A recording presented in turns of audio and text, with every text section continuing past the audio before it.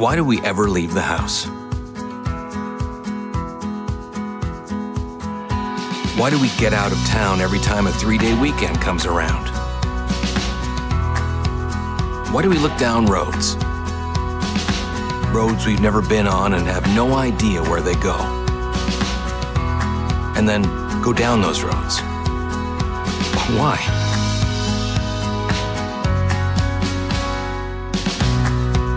Why do we end up in some dive in Reno, hanging out with Rick, when we don't even know Rick?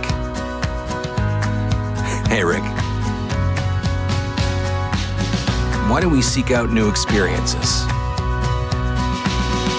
Or search for the best barbecue on each side of the Mississippi?